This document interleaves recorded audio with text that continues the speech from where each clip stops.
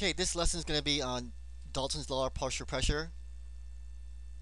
And basically the law states that the total pressure in a container is the sum of the pressure of each gas um, that would exert if it were alone in the container. So the total pressure is the sum of the partial pressure. So for instance, we have a certain volume here. We have these gray molecules floating around and that exerts a pressure we have a same volume container and we have some red molecules floating around in the container and that exerts a pressure. If we combine those two gases in the same volume container, then the total pressure in that container will be the sum of its parts. And I want to stress on Dalton's law of partial pressure that this simply simple equation only holds true if the volume of the container is the same across the board. So if it is, you can use this simple equation, you can solve for anything. So let's try a, a problem here.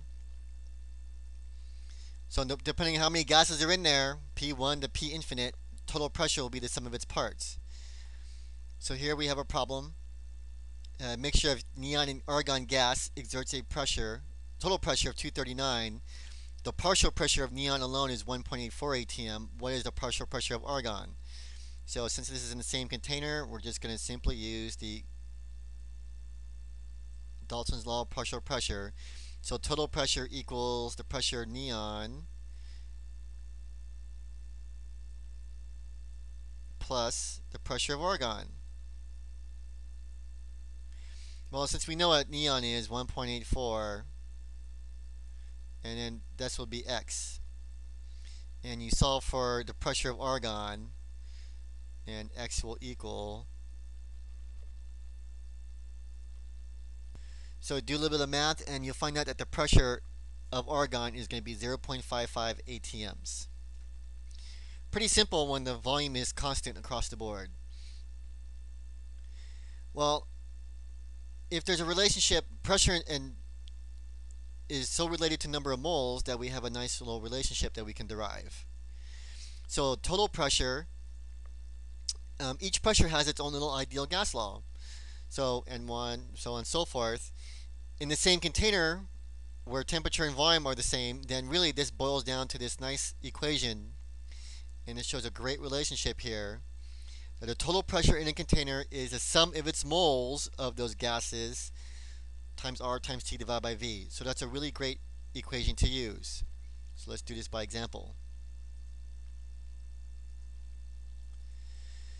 So, a mixture of helium and oxygen can be used in scuba diving tanks to prevent the bends for a particular dive 46 liters of helium at 25 degrees Celsius and 12 liters of O2 at 25 degrees Celsius and 1 atm were pumped into a tank with a volume of 5 liters. Calculate the partial pressure of each gas and the total pressure in the tank. So this is a two-part question. So to kind of break this down a little bit, I sketched that little diagram. So we have helium with a very different volume from the oxygen, we're going to actually combine those two gases into a container that's 5 liters. So yeah, the pressure should definitely increase a lot since we're going from a very, very big container to a very small container to do this. You cannot, again, use Dalton's law of partial pressure, so you cannot add 1 plus 1 equals 2 because my volumes are not the same. What we do need to count is the number of moles that are, are being sent over. So for this equation, we're going to use the ideal gas law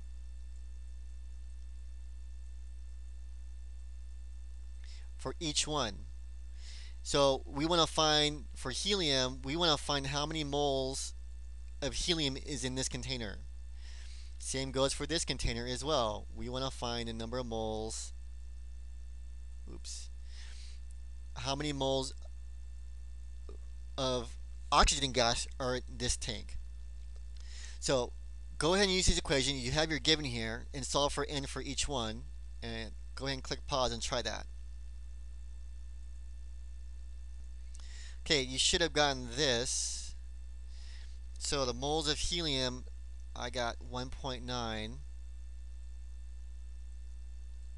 And the moles of O2, I got to be 0.49.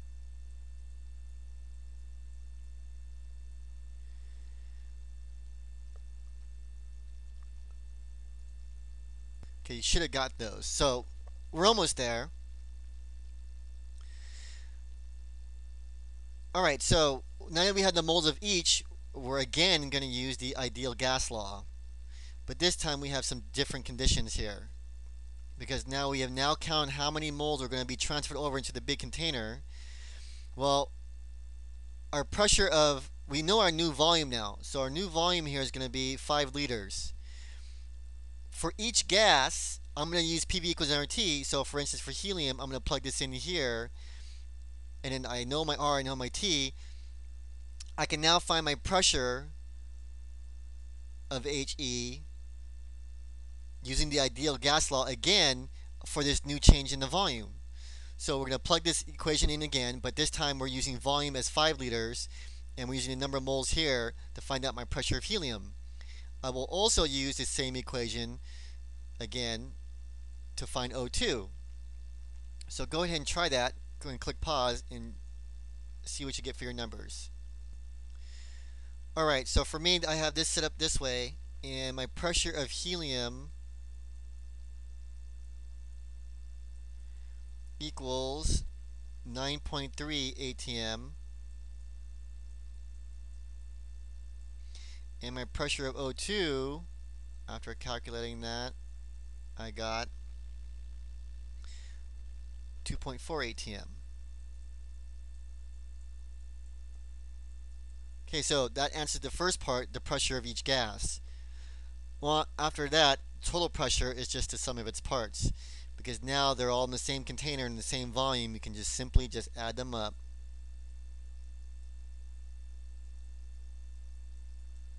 and you should get a total volume of 11.7 ATM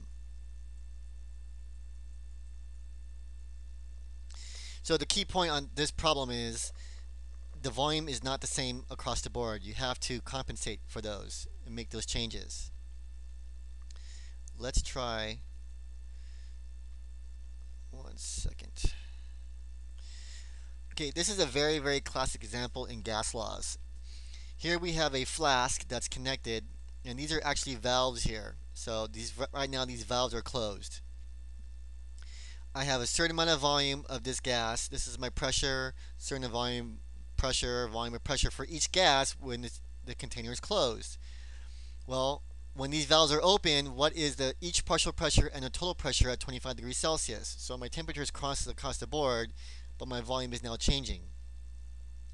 Well, the way we're going to solve this is we're going to use P1 V1 equals P2 V2 since my temperature is constant. And I'm going to use this equation for each gas after it's closed. So P1 would be, for instance, CH4 will be this my volume 1 would be this. My new volume is when you open up all the valves. My new volume will be 4 plus 1.5 plus 3.5. That's going to be a 9. So that's going to be my new volume. And then for each gas, you're going to use this equation and solve for P2 for each gas. So go ahead and try that. Uh, plug them in for each number and find out what you get for the pressure of each gas after you open the valves.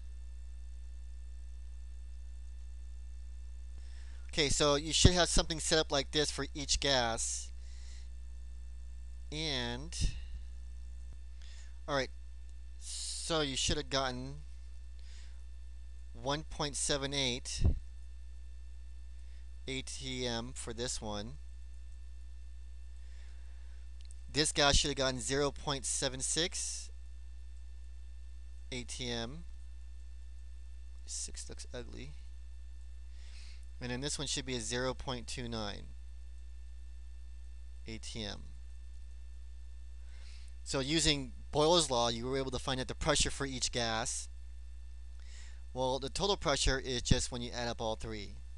So 1.76 plus 0.76 plus 0.29 equals total pressure is going to equal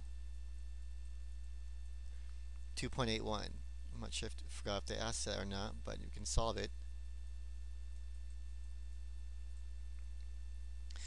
Alright, so here are some examples of using Dalton's law of partial pressure.